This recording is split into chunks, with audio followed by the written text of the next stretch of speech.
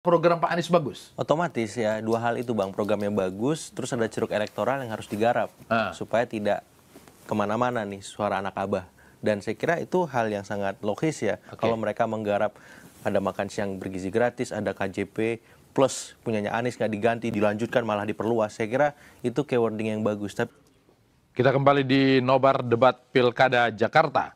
Saya langsung ke Karisma, karena tadi yang pertama menyampaikan nomor dua. Dari catatan saya, banyak kemiripan semuanya. Tapi ada yang tidak dimiliki oleh yang lain, ojol tanpa potongan. Ya, benar. Bagaimana caranya itu? Jadi begini, ojol tanpa potongan.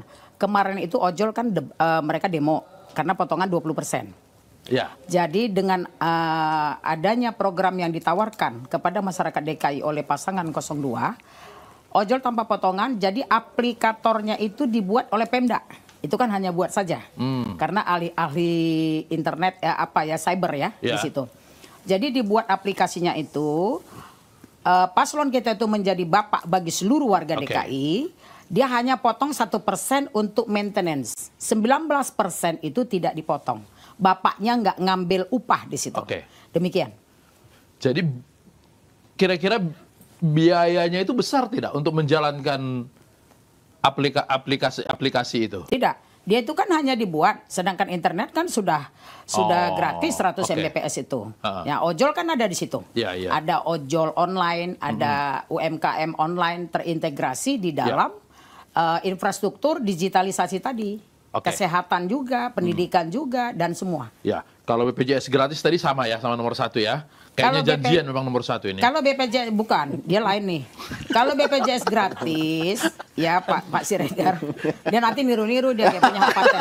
Kalau kita nggak niru, ini punya hak paten loh. Ini hak paten loh, Ya, ya, 2013. ya, ya, ya, paten Dia apa nggak tuh? punya hak Oke. paten. Oke, saya jawab dulu abang ini Oh, nanti dia siap, marah. siap. Iya, iya, iya. Eh, masalah apa tadi bang? Ini gara-gara kan, BPJS, kan? gara-gara BPJS. BPJS sama, udah sama, udah. BPJS. Nggak usah dibahas lagi, udah Bukan, sama. BPJS Bedanya nggak sama. Ah. Kalau BPJS Ah, ah. itu kan kita itu dari kan dana yang sudah ada yang existing itu kan kita lanjutkan. Oke. Yang baik dari yang lama kita lanjutkan. Terus memang tidak merata karena Hmm. kurang beradab tadi. Oke. Ada pro kontra eh ada eh, memihak. Misalnya RT hanya dikasih kepada yang dia kenal dan Oke. segala macam. Ya. Nah, itulah yang mau kita perbaiki dasarnya adab. Kemudian PBI kan ada. Ya. Nah, PBI itu kan penerima bantuan iur apa? Iuran. Ah, iuran. Itu da- nah, itu tidak pemerintah. dimaksimalkan. Nah, Oh. jadi itulah. Jadi tidak ada jadi Ya. ini yang dimaksimalkan untuk masyarakat Oke. karena bukan ada perintah partai. Demikian. Oke. Ke nomor tiga. Ada kutipan tiba-tiba, kami melanjutkan pro- mengikuti program Pak Prabowo. Ada apa itu? Ya bagaimanapun saat ini Pak, Bro, Pak Prabowo adalah Presiden. eh, kepala negara kita, Oke. kepala pemerintahan kita Ah. gitu kan ya Bang ya. Ah. Jadi selaku kepala pemerintahan yang punya program makan siang gratis. Ah. Nah, ini kan makan siang gratis. Ya. Kita melengkapi sifatnya melengkapi, melengkapi dengan makan Sarapan. Pagi, eh, sarapan gratis. Kenapa? Karena penyerapan gizi itu paling baik di pagi hari. Oke. Nah, itu. Jadi ya dong. Oh, nggak double, Oh. karena ini kan beda. Nah, kalau tadi makan siang ya? Makan siang, Oke. makan siang dari Ya. pemerintah pusat. Baik. Ini kan Sekolahnya punya pagi. Nah, justru itu penyerapannya Sebelum di pagi hari. sekolah dikasih ya? Iya, Oke. begitu, Bang. Saya ke Agung. ya eh, Kalau ini tadi ngikut Pak Prabowo, ini lebih double. Iya. Melanjutkan KJP-nya Pak Anies. siap.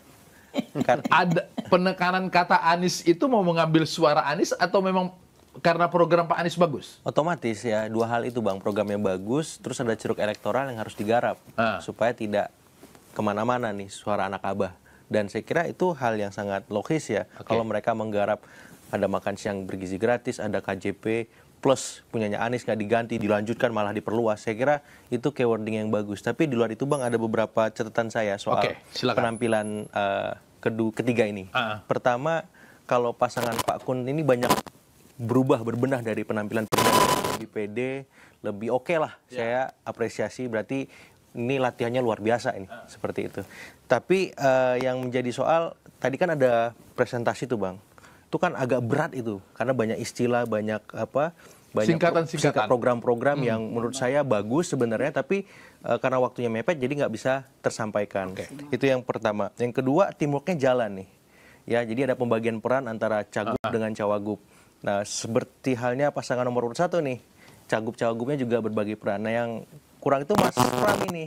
Mas Pram semua yang jelasin. Kalau nggak salah debat pertama bagi dua ya? bagi dua. Ah. Nah ini kenapa diambil Mas Pram semua? Iya, iya, Nah iya. terus yang Oke. berikutnya yang ingin saya soroti lagi adalah soal eh, gimana kemudian masing-masing ini punya cara presentasi yang beda. Ya. Kalau pasangan nomor urut dua presentasi ala akademis gitu. Hmm. ya. Nah nomor urut satu eh, ya hybrid lah Ya, presentasi plus storytelling. Nah nomor urut tiga storytelling tuh pakai ibu Suni macam-macam, ada foto-foto Ya. Seperti itu dan saya kira itu bagus supaya pemilih makin Oke. jelas. Pokoknya di segmen satu Ya. imbang kelihatannya Ya, ya. ya. Kita masuk lagi ke debat.